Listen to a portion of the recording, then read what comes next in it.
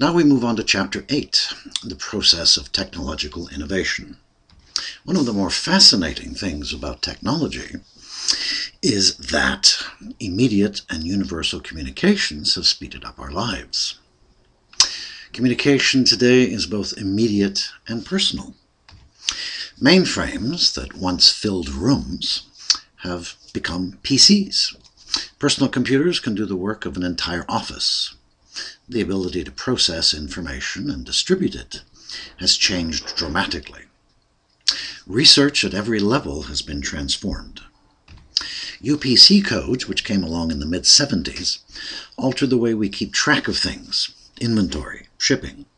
Portable electronics started to take off in the 60s with the invention of the integrated circuit. Of course, now we can see images instantly with digital cameras, for example. And the cell phone enables us to be accessible social beings. TV has changed from broadcast towers to satellite, now to the internet. Through GPS, we can know where we are and uh, where our children are, or our cars, or other people. The inside of our bodies used to be a mystery. Now we can look inside through medical imaging, such as ultrasound, MRIs, and so forth, can affect the way we think of ourselves. We are moving into a post information age where DNA sequencing helps us understand our bodies even more. Laparoscopic surgery using fiber optics reduces trauma and invasive surgeries. Send a camera and a surgical device in instead of cutting the body open. Lightweight and smart materials from carbon fibers such as Kevlar offer protection and a cleaner environment. And of course, we have lasers. As I said a minute ago, we live in an information age that Weinstein suggests may be changing into something else. It isn't just that we've lived one technological revolution among many. It's that our technological revolution is the big social revolution that, that we live with. In the last 20 years, for example, our, I don't think our morals have changed, but the ability to say nasty things or four letter words has changed.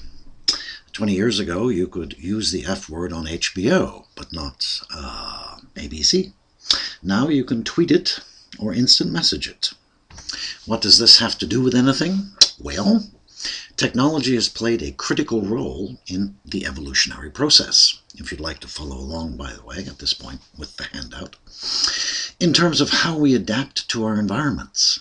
It has allowed us to destroy entire species and the ability to either kill ourselves or feed everybody.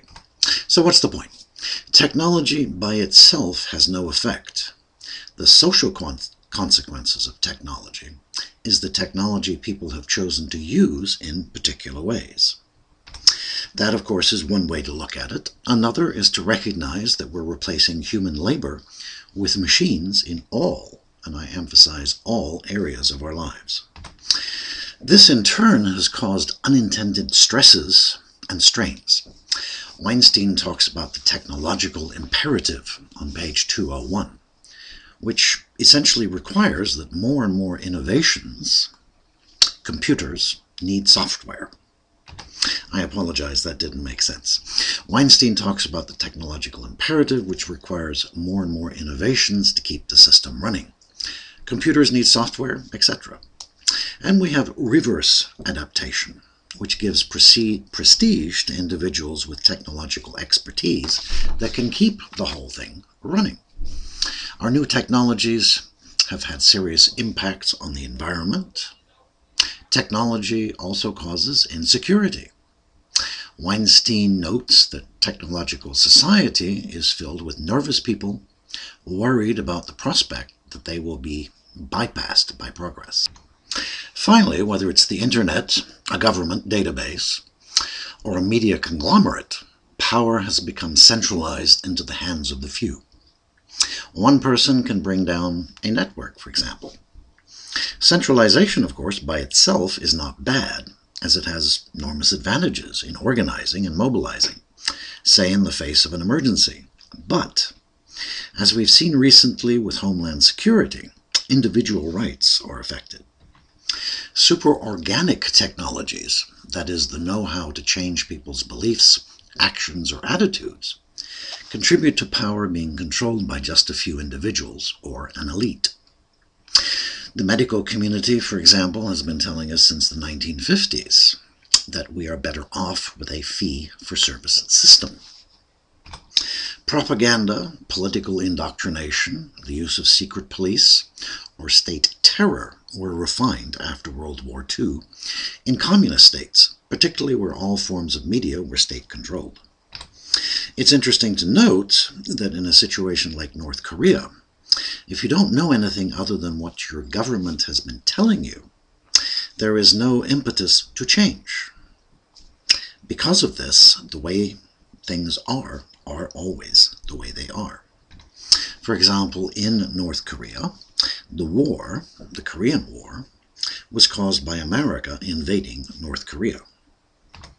Well, as usual, it appears that I have messed up with my, um, excuse me, with uh, keeping the handout and my lecture together. Sorry about that.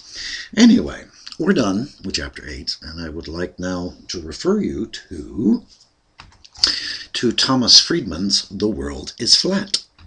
Start the video at approximately the third minute in, and you can hear him talk about the great levelers. When someone in another country has access to the same information and resources that you and I do, when that someone does not have to build the infrastructure you have built to be successful, then you've gone from vertical to horizontal. You are no longer at the top.